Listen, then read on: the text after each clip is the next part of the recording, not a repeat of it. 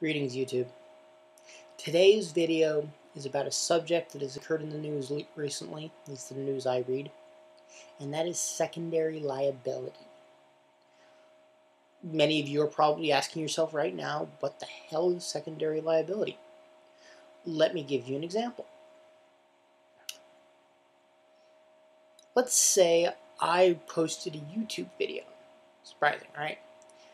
And that video I made statements of fact, or hell, they could be opinion, for all it's going to matter for the example, but let's say I made statements of fact that were defamatory.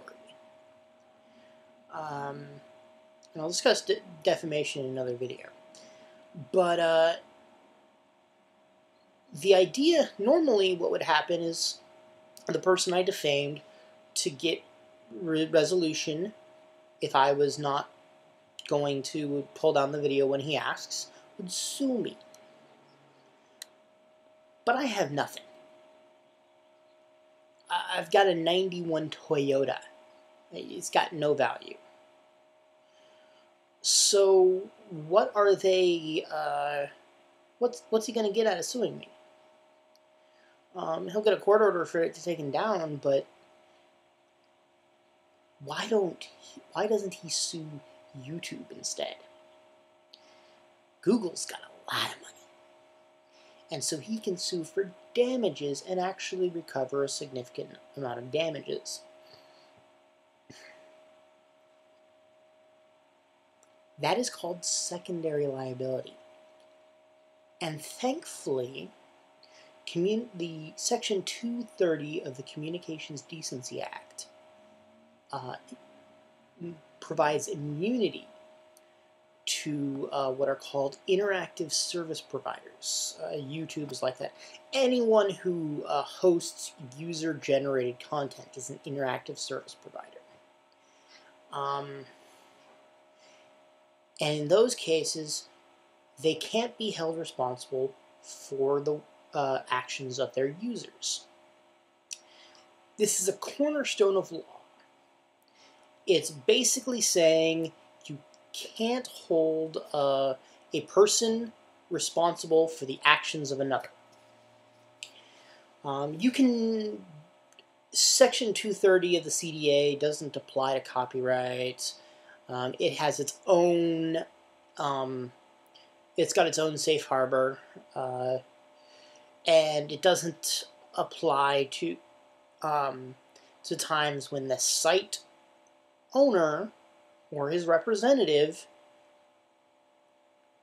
um, makes takes an action um, or collaborates with a user to make a certain action. Uh, that's when you can breach the veil and get at the site holder. Um, our entire user-generated universe, Facebook, YouTube, um, blogging sites, uh, not blogging sites, but uh, things like WordPress. Um, so, so yeah, blogging sites um, don't wouldn't really exist if it weren't for that protection. People, however, don't like it. Uh, notably, many state attorney generals. Um, why don't they like it? Because finding the person behind content is hard. It generally requires you go to you go before a court, prove that the person has committed whatever wrong uh, they've actually committed, so you can get them to cough up the info. Um, so you can get the the internet provider to cough up the info on who actually uh, said this speech that they weren't supposed to say. A lot of hard work all a lot of work all around. I'm not necessarily hard work, but it's a lot of work.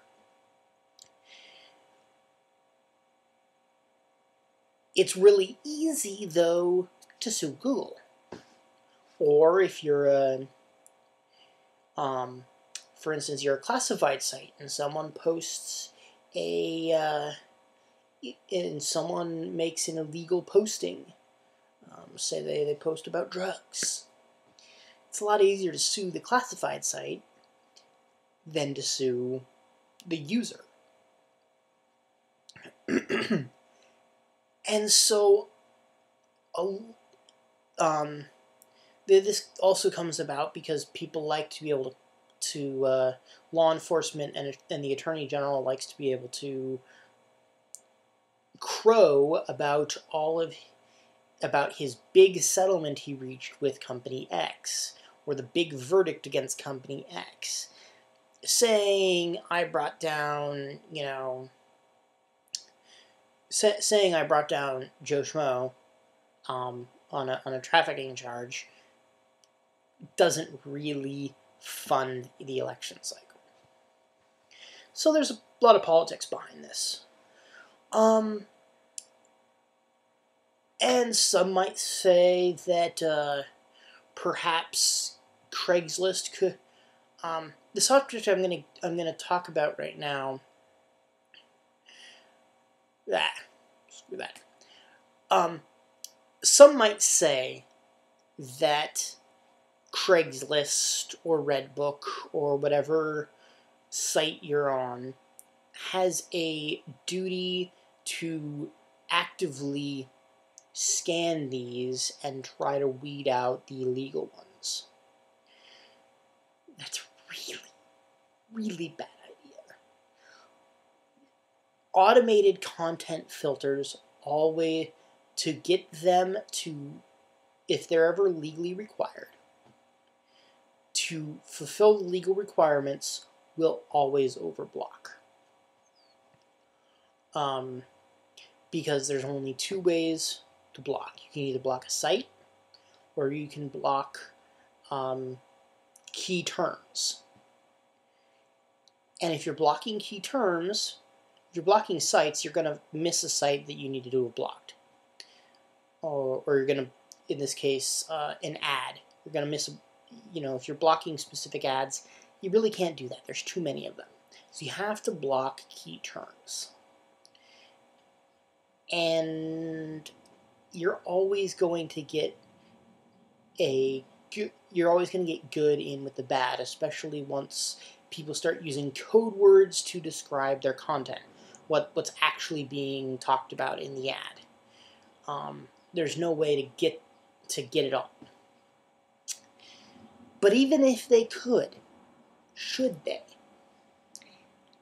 Mm, I don't think so. Um,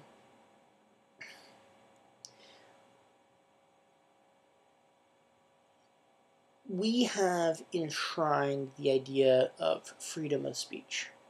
That means protecting all speech. That it there are some exceptions, but those are very specific exceptions. Um, you can't um, just create new exceptions as you wish.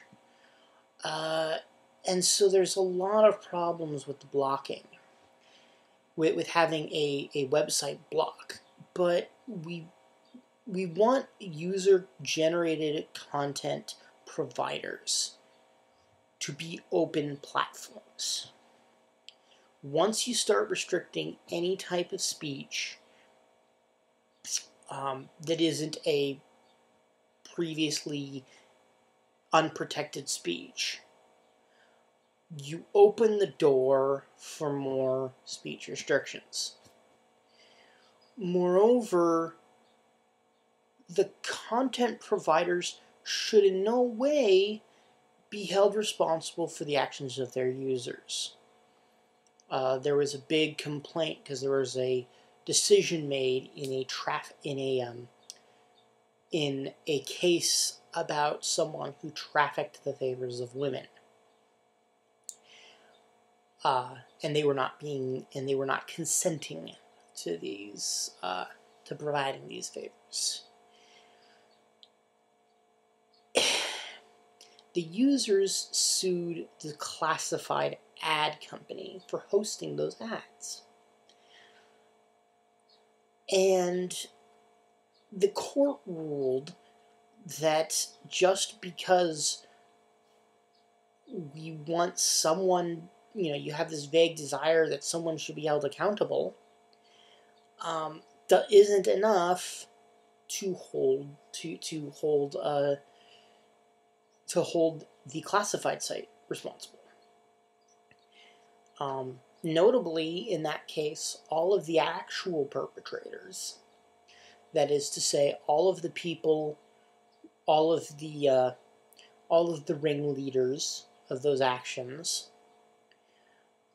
were jailed. Uh, they have all been convicted of a crime. And if there was a civil restitution that the victims wanted to receive, that's who they should be going after.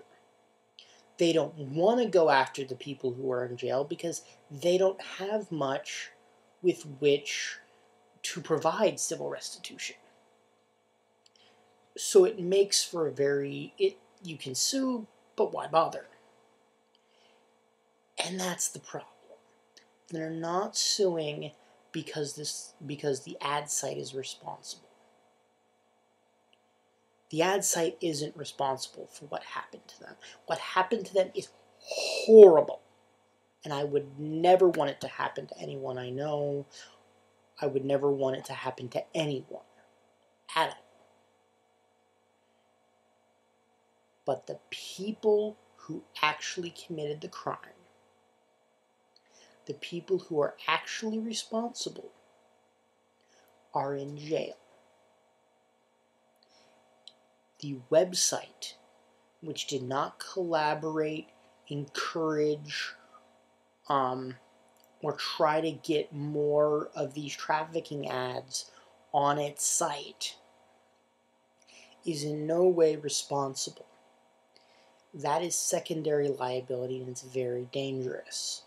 You start opening up to things like blaming Ford because the bank robbers drove away in a Ford. Did you do that? No. But that's what secondary liability is.